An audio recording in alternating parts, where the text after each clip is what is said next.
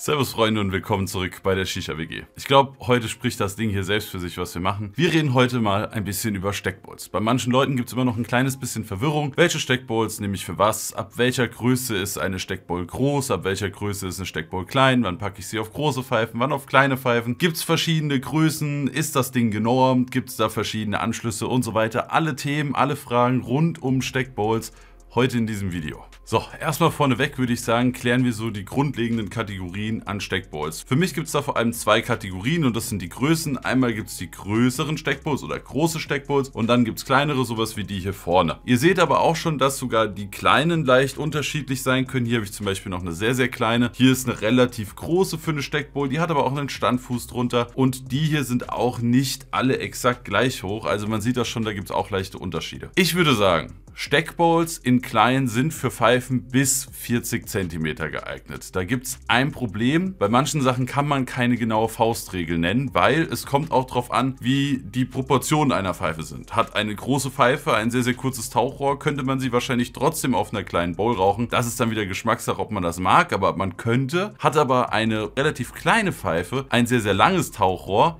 dann geht sie vielleicht trotzdem nicht auf eine kleine Ball. Meine Faustregel für mich ist aber, die meisten Pfeifen unter 40 cm passen eher zu kleinen Bowls und die meisten Pfeifen über 40 cm passen auch auf große Bowls. Ich würde aber sagen, es gibt da so plus minus 3 cm Spiel ungefähr. Also vielleicht passt die ein oder andere Pfeife, die 43 cm ist, auch noch auf eine kleine Pfeife, vielleicht aber auch umgekehrt.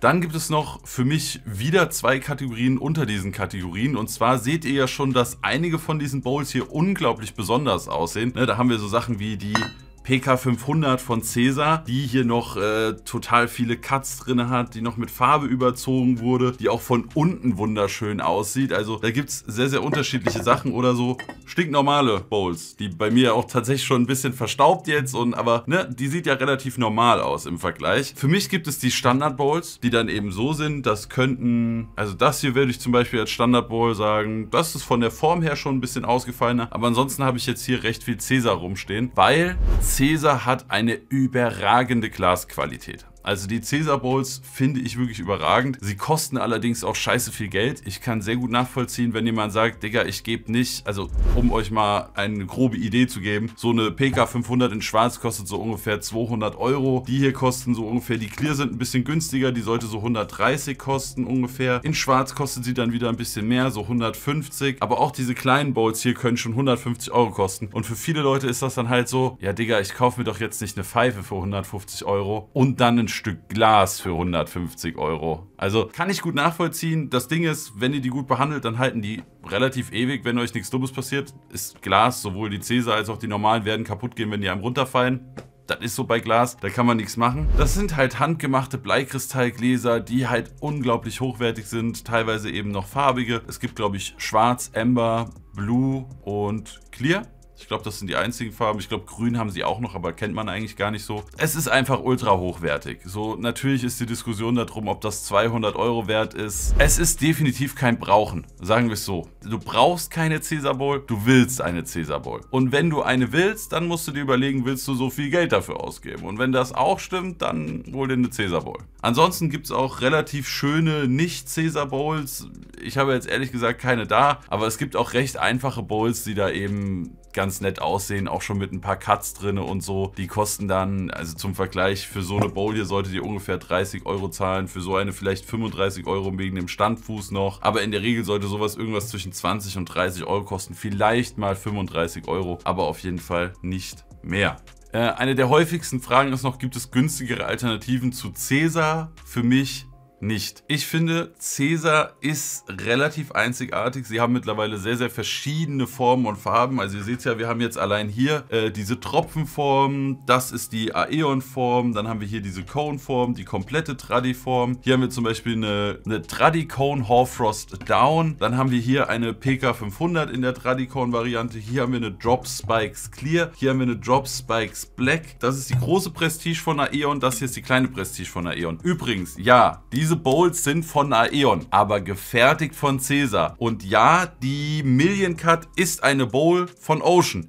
aber gefertigt von Cäsar. Aeon hat sich ein Design ausgedacht, die wollten genau dieses Design und haben dann gesagt, ey Jungs, ihr macht die geilsten Bowls, könnt ihr uns die Bowls machen? Und dann haben die gesagt, ja, klar, können wir zusammenarbeiten. Und genauso ist das auch mit Ocean, genauso ist das auch mit zum Beispiel der hier, das ist die Ice Cut von Mose ist auch Cäsar. Ja, also das sind alles Cäsar Bowls oder halt Bowls von Mose, Aeon, Ocean, die aber alle von Cäsar kommen, weil Cäsar einfach die geilsten Bowls macht. Ist übrigens keine Werbung für Cäsar. Ich habe noch nie eine Bowl von Cäsar umsonst bekommen oder so. Ich habe mit denen gar nichts am Hut, aber ich mag die Produkte einfach sehr, wie ihr vielleicht sehen könnt. Ne? Ich will euch aber nochmal in zwei Shops zeigen, nochmal so ein paar andere Bowls, die da gerade sind oder auch nicht. Ich hoffe, die sind verfügbar, ähm, um euch so eine gewisse Idee zu geben. Äh, was ist jetzt eine große Bowl, was ist jetzt eine kleine Bowl? Ihr seht ja die, zwei, die paar hier. Zum Beispiel bei Mose im Shop ist das sehr, sehr schön aufgeteilt. Und dann gehen wir auch nochmal zu Aeon in den Shop und da zeige ich euch das auch nochmal.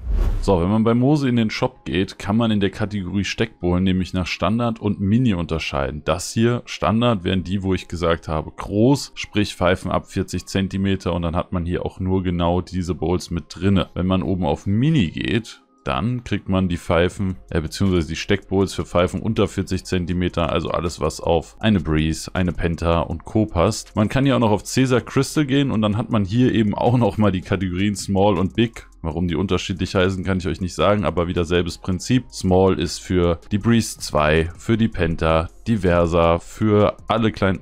Oh, wusste ich gar nicht, dass es die kleinen gibt.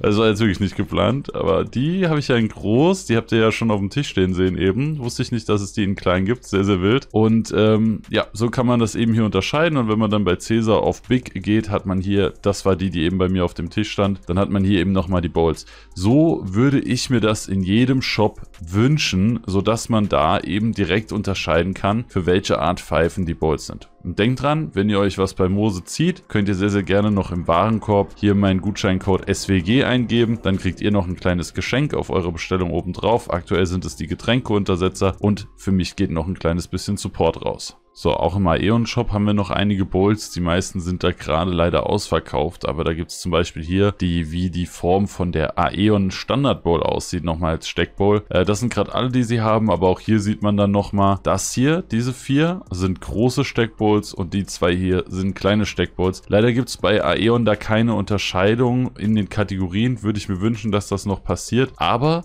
Oft steht dann hier dabei, passende Steckbowl für deine Viro Penta. Und dann wissen wir ja auch direkt, okay, die Penta ist eine etwas kleinere Pfeife, also würde die bestimmt auf die Penta passen. Und wenn wir hier uns zum Beispiel äh, diese Bowl angucken, hier steht zum Beispiel dabei, dass die für die Viro und Mose Noir passt. Oder auch die Edition 4, wenn man den Steckbowl-Adapter hat. Und da wissen wir ja auch, dass das große Pfeifen sind. Also kann man sich dann schon denken, dass das große Pfeifen sind. Äh, oft steht auch einfach eine Größe dabei. Und dann könnt ihr euch auch schon ausdenken, auf was das jetzt passen würde. Aber die zwei Shops hier eben einmal zur Übersicht. Ja, jetzt habt ihr den Shop gesehen. Ähm, da bei Mose kann man das eben super gut anhand der Kategorien machen. Finde ich saugut. Sollte meiner Meinung nach jeder Shop direkt so haben. Schade, dass es nicht so ist. Aber ja, liebe Shopbesitzer, ändert doch gerne mal die Kategorien in große und kleine Boards. Das würde viel leichter machen. Äh, ich habe auch mit meinem supergeilen Messschieber hier noch ausgemessen, wie viel, wie viel Platz hier ist. Und ich dachte sogar erst, dass das super, super unterschiedlich sein wird, aber tatsächlich sind fast alle Bowls zwischen 44,3 mm und 44,8 mm breit. Was mache ich jetzt, wenn meine Bowl nicht passt? Kommen wir mal so ein bisschen zum Troubleshooten. Also wenn ihr jetzt eine Steckpfeife habt, zum Beispiel genau die, die hier neben mir steht, die Union Hooker Fibonacci habe ich mir gekauft und ich wollte die unbedingt auf genau dieser Bowl von Cäsar haben. Das habe ich so bei Yannick gesehen, Kasse, Grüße gehen raus. Äh, habe ich genauso bei ihm gesehen, war verliebt, musste ich haben, wollte ich haben, wollte ich in der Sammlung haben, habe mir beides gekauft und will die Fibonacci da draufstecken und es ging einfach nicht. Ich habe ich hab gedrückt wie ein Bekloppter und ich habe die einfach nicht drauf bekommen. Dann habt ihr mehrere Möglichkeiten.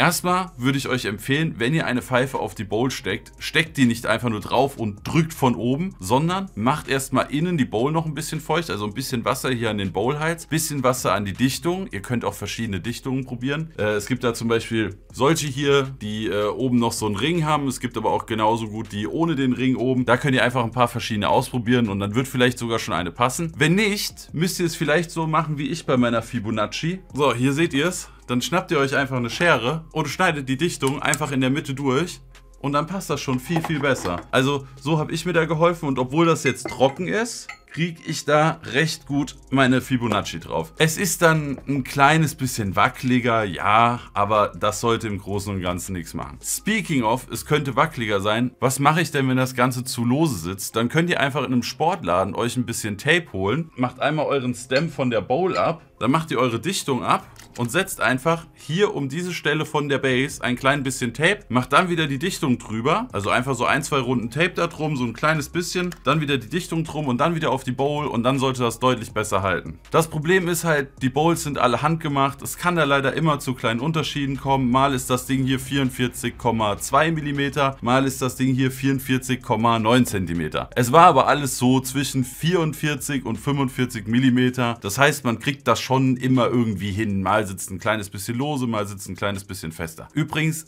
alle Bowls haben 44 mm, also sowohl die kleinen als auch die großen. Das heißt, von der Base her passt jede Pfeife auf jede Steckbowl. So, jetzt sollten wir das Thema mit der Passform eigentlich erstmal beseitigt haben soweit. Ihr solltet ja wissen, wie groß eure Pfeife ungefähr ist und dann könnt ihr euch jetzt überlegen, braucht ihr da eine kleine Steckbowl oder braucht ihr eine große Steckbowl. So, dann haben wir noch einen kleinen Sonderfall und zwar habe ich hier noch zwei Teile. Wir haben hier einmal den Aeon Steckadapter und einmal den Stimulation Steckadapter, weil es gibt mittlerweile einige Pfeifen, zu denen man sich solche Steckadapter holen kann. Es werden bestimmt auch noch mehr kommen, kann ich mir gut vorstellen. Und dann könnt ihr euch, wenn ihr eine Aeon habt oder eine Aeon Bowl, dann könnt ihr diese Steckbowl Bowl einfach mit dem Steckadapter versehen und habt dann hier ein ganz normales Aeon-Gewinde drauf. Genau dasselbe geht eben auch mit Stimulation. Da habt ihr dann den Stimulation-Verschluss und könntet das auf irgendwelche Bowls setzen. Der geht allerdings sehr schwer rein, deswegen versuche ich das trocken jetzt erst gar nicht. Aber sowas gibt es eben auch noch. Bei Aeon und bei Stimulation würde ich sagen, das sind beides große Pfeifen. Auf jeden Fall die Edition 4 und auch die Pro X oder die Pro X2. Beides große Pfeifen würde ich auch nur auf große Steckbowls setzen. Man könnte die Aeon zum Beispiel mit ihrem kurzen Tauchrohr auch noch auf kleine Bowls passen. Ich persönlich finde, das sieht absolut schrecklich aus, ist aber auch einfach Geschmackssache. Das heißt, wenn das jemandem von euch gefällt, könnte man eine Aeon Edition 4 Lounge mit einem kurzen Tauchrohr auch auf eine kleine Ball setzen. Für mich ist es nichts,